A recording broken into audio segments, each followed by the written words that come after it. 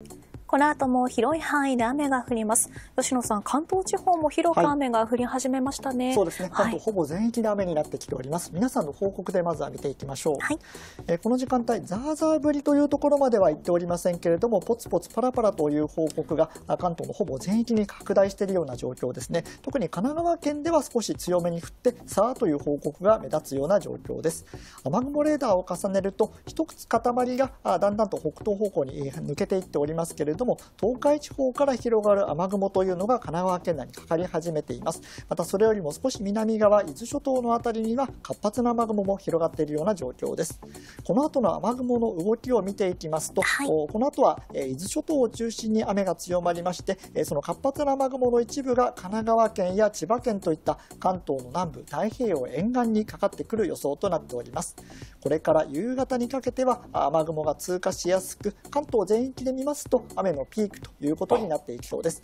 ただ雨のピーク、それほど長い時間は今日は続かないと見ておりまして、夕方を過ぎて夜になると雨の雨雲の隙間がだんだんと増えてくるということになっていきそうです。この後持って出かけた傘、帰りが遅い場合は帰りに使わないというケースもありますので、そういった場合は置き忘れなどにも気をつけていただきたいと思います。はい